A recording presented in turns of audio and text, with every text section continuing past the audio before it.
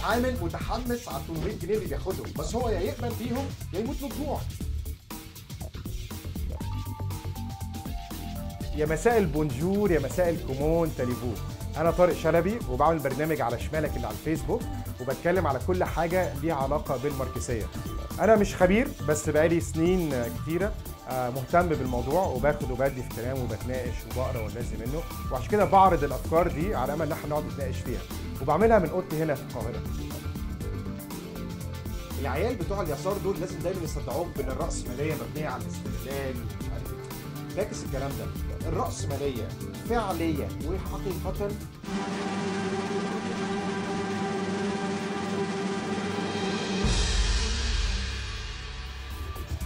مبنية على الاستغلال طب أنا أقول طيب ما هي مبنية على الاستغلال أنا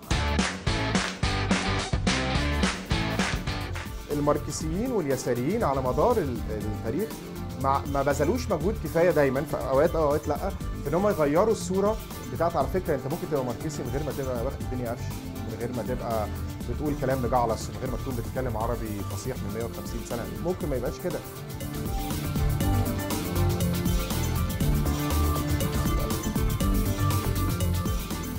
أو نقابه عمالية بتكسر فكرة إن كل واحد فينا لوحده ضد الباقي وبتفكرنا إن إحنا كلنا مع بعض ضد اللي بيقمعنا وبيسرقنا.